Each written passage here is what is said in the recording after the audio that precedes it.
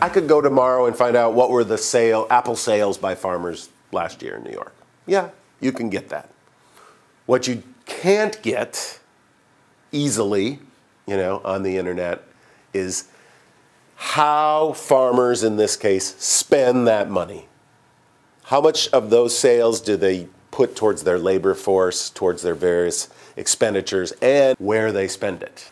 In this particular case, we were fortunate because we have a pretty strong Cornell Cooperative Extension system, a program, the Lake Ontario Fruit Team works with apple growers primarily. They collect a lot of that data. So we were able to utilize that sort of information to get our analysis very specific to New York.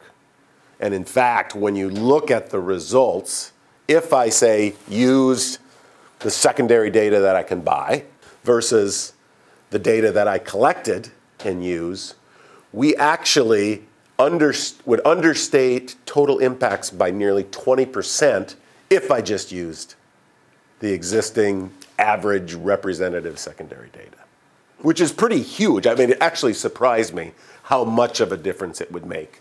If I'm the New York Apple Association trying to understand the contribution we make to our economy, I don't really care, you know, what tomato processors are doing, right? You want that specificity. By and large, people just want to have confidence in their numbers, right?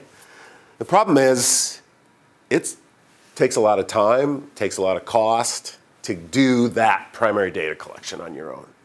Those types of numbers are really important to organizations like the Apple Association. They're also very important to people in Albany, uh, understanding what these sort of generative effects of industries are.